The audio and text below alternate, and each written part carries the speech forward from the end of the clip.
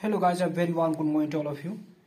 This channel is not only for this channel for brother Nitish Kumar welcome back to Nitish Kumar classes दोस्तों आज आप लोग के लिए जो है सेट वन कॉमर्स का ऑब्जेक्टिव क्वेश्चन लेकर आया हूँ जिसमें क्वेश्चन नंबर एक से लेकर ट्वेंटी तक मैं आप लोग को बताने का कोशिश किया हूँ। अगर आप लोग वीडियो देख भी लिए हैं कहीं भी या आप लोग का आंसर मालूम भी है फिर भी इस वीडियो को देखिए क्योंकि इसमें मैंने कुछ और एक्सप्लेनेशन में आप लोग को मैं जोड़ने की कोशिश किया हूँ, जो आपके एग्ज़ाम में वह क्वेश्चन वे सभी क्वेश्चन भी आ सकती है, जो आप लोग नहीं पढ़े हैं। और इसके साथ ही साथ अगर आप पीछे वाले वीडियो जो डिस्क्रिप्टिव सेक्शन है सब्जेक्टिव है, मैंने आप लोग के लिए अपलोड कर दिया हूँ। आप लोग वन बाय वन करके आप लोग जो प्ले में आप लोग जाके आप लोग नोट्स कर सकते हैं और समझ सकते हैं, जो आपके एग्ज़ाम के लिए बहुत ही फ्रूटफुल है। चलते गाइस बिना समय को वेस्ट किए हुए सीधा स्टार्ट करते हैं। और चैनल में तक सब्सक्राइब नहीं किया चैनल को सब्सक्राइब कर लीजिएगा, क्योंकि इस तरह से फ्रूटफुल कंटेंट आप लोग को मिलती रहती है। चलते हैं। क्वेश्चन नंबर वन बोल रहा है कि चालू संपत्तियों को उदाहरण बताइए। आप लोग के सामने दिया हुआ है, रोकड़ है, अंतिम रहतिया है, देनदार है, इनमें से सभी। तो इसमें आंसर जो होगी, वो होगा इनमें से सभी। क्योंकि आपको पता है, चालू संपत्ति करंट एसेट जो होता है कैश भी होता है क्लोजिंग स्टॉक भी होता है, और डेटर भी होता है। क्वेश्चन नंबर टू प्राप्त बट्टे का लेखा किस खाते में होता है? प्राप्त बट्टा का मतलब होता है डिस्काउंट रिसिप्ट तो डिस्काउंट रिसिप्ट जो होता है दोस्तों ये प्रॉफिट लॉस अकाउंट अर्थात लाभ हानि खाता में लिखा जाता है। इसलिए क्वेश्चन नंबर टू का आंसर जो हो जाएगी वन हो जाएगी। ठीक है? अब क्वेश्चन नंबर थर्ड क्या बोलता है कि व्यापारी खाता किस प्रकार का खाता होता है? आ, मतलब ट्रेडिंग अकाउंट जो किस प्रकार का खाता होता है? तो मैंने आप लोग को बोला था कि ट्रेडिंग जो अकाउंट होती है वैसा खाता जिसमें आपका डायरेक्ट एक्सपेंस डायरेक्ट इनकमों को लिखा जाता है, अर्थात एक नॉमिनल अकाउंट होती है नाम मात्र का खाता होता है, जिसका आंसर हो जाएगा थर्ड का, आपका जो होगा सी होगा। अब चलते हैं क्वेश्चन नंबर फोर की ओर। क्वेश्चन नंबर फोर जो बोल रहा है, यदि विक्रय पाँच हज़ार पाँच सौ रुपया है तथा सकल लाभ बारह सौ रुपया हो तो बेचे गए माल की लागत क्या होगी?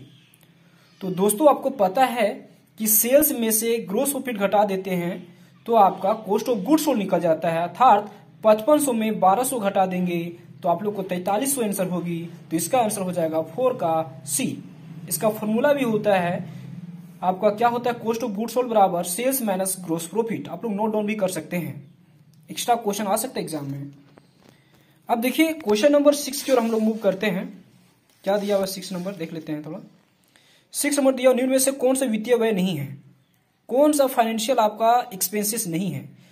वैसा खर्च जो फाइनेंस से संबंधित होता है गाइज़ तो इसमें डोनेशन नहीं होगा, क्योंकि डोनेशन तो आप डोनेट करते हैं ना। ये तो बिज़नेस से ज़्यादा रिलेटेड नहीं, क्योंकि ये हम लोग स्टाफ में देते हैं डोनेट करते हैं। इस कारण ये फाइनेंशियल से संबंधित नहीं होगी। तो सिक्स का हो जाएगा सी अब क्वेश्चन नंबर सेवन की ओर आते हैं। एक तिथि विशेष पर सभी संपत्ति दायित्व का सारांश है।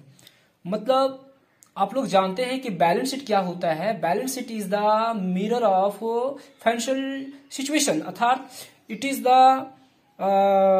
summary of asset and liabilities तो इसका आंसर हो जाएगा सेवन का सी चिट्ठा होगा गाइज़ शायद सेवन का सी होगा। अब चलते हैं क्वेश्चन नंबर एट की ओर। देखिए, आप लोग के लिए, मैं आप लोग के लिख के रखा हूँ कॉपी में। चाहता तो क्वेश्चन निकाल भी सकता था अपलोड करके। अपलोड देखिए क्वेश्चन नंबर एट क्या दिया हुआ है? इनमें से कौन सा व्यापारिक खाता बनाने का लाभ नहीं है? कौन सा जो व्यापारी खाता बनाने का लाभ नहीं है तो इसका आंसर हो जाएगा, व्यापार के महँगाई पर नियंत्रण कंट्रोल ओवर द मेथड तुलनात्मक अध्ययन नहीं होगा, ठीक है? इसमें आंसर ये हो जाएगी। निम्न में से कौन सा मूर्त संपत्ति टेंजिबल एसेट्स है? क्वेश्चन नंबर नाइन तो नाइन का जो आंसर होगी, जिसमें दिया हुआ है लैंड एंड बिल्डिंग भूमि और भवन बी नंबर में फर्नीचर फिक्सर दिया हुआ है सी में संयंत्र मशीनरी दिया हुआ है ऑल ऑफ़ दिस दिया हुआ है। तो इसका आंसर हो जाएगा ऑल ऑफ़ दिस जिसको हम लोग टच कर सकते हैं, छू सकते हैं, उसको हम लोग मूर्त संपत्ति कहते हैं। क्वेश्चन नंबर टेन की ओर क्या दिया? बैंक अधिवर्ष व्यापार के लिए क्या है? तो गाइज़ ये बिज़नेस के लिए जो है, ये लाइबिलिटी होता है, दायित्व होता है, इसका टेन का हो जाएगा डी खर्चा नहीं हो सकता इम्पॉसिबल आय भी नहीं हो सकता इम्पॉसिबल है। सी संपत्ति भी नहीं हो सकता, इसका आंसर होगा डी टेन का डी ठीक है? अब देखिए क्वेश्चन नंबर इलेवन की ओर मूव करते हैं। इलेवन क्या बोल रहा है? इलेवन इनमें से कौन सा प्रतिज्ञा पत्र की विशेषता नहीं है? आपको ये पता है कि प्रतिज्ञा पत्र वह पत्र होता है जिसमें आपका देनदार लिखता है। तो यहाँ पे ऑप्शन ग्यारह का बी जो दिया हुआ गलत है। इसे लेनदार लिखता है? नहीं, जी नहीं। ये तो आपका विश्व पिक्चर विनिमय पत्र में लिखा जाता है। तो इलेवन का हो जाएगा बी। ट्वेल्व की ओर चलते विपत्र को भुनाने में की स्थिति में कितने पक्ष रहते हैं? विपत्र को भुनाने में डिस्काउंट करने में गाइस दो होता है, क्योंकि बैंक में जाइए भुनाने के लिए एक ड्रोवर होगा। ठीक है, बारह का हो जाएगा ए, तीन नहीं हो सकता, एक नहीं हो सकता, असीमित। यही अगर घुमा के पूछते विपत्र में कितने पार्टी होते तीन हो सकते हैं, ठीक है? अगला है क्वेश्चन नंबर ट्वेल्व। तो ट्वेल्व हो गया थर्टीन। वेतन को पसर के नाम पक्ष में कतौनी करना या एक क्या है? एक तरफ़ से रेक्टिफिकेशन और फेरर हो गया गाय तो इनमें से कोई नहीं होगा। योग की अशुद्धि जी नहीं। खतौनी की अशुद्धि जी नहीं। आगे ले जाने की अशुद्धि जी नहीं। इनमें से कोई नहीं। क्वेश्चन नंबर फोर्टीन को बढ़ते हैं। सुधार की दृष्टि से अशुद्धियाँ हो सकती है। सुधार की दृष्टि से मैंने आप लोग को पढ़ाया था कि सुधार की दृष्टि से अशुद्धियाँ दो तरह होती है, एक पक्षीय और द्विपक्षीय फोर्टीन का हो जाएगा सी। अब चलते आगे की ओर। क्वेश्चन नंबर फिफ्टीन की ओर। अनुग्रह के दिन किसमें मिलते हैं? अनुग्रह के किसमें किसमें मिलते हैं?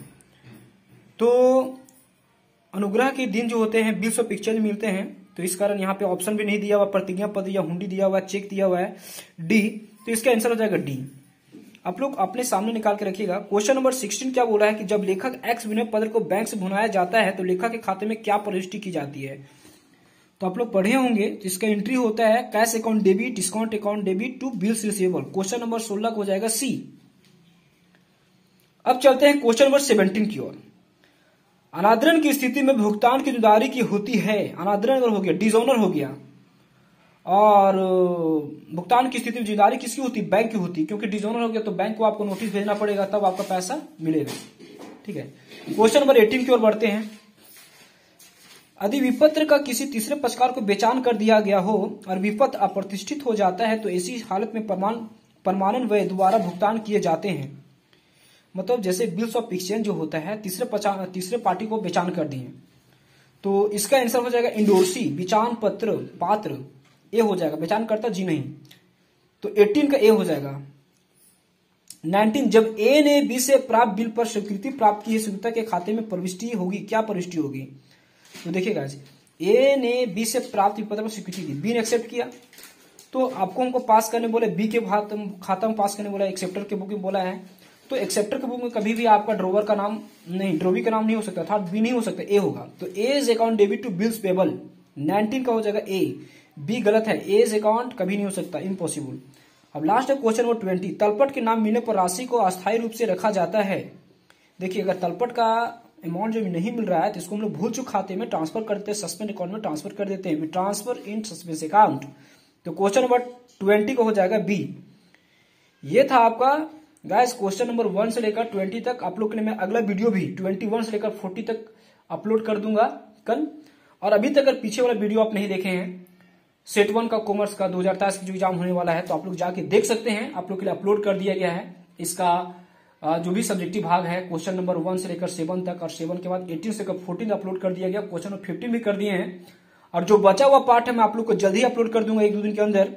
इसके बाद जैसे ही सेट टू लॉन्च होगा, आप लोग के लिए अपलोड कर दिया जाएगा। और इसके साथ ही साथ अगर पिछला वर्ष का आप नहीं देखे हैं मॉडल पेपर तो आप लोग देख सकते हैं प्लेलिस्ट में जाके, वहाँ आप लोग को मिल जाएगी।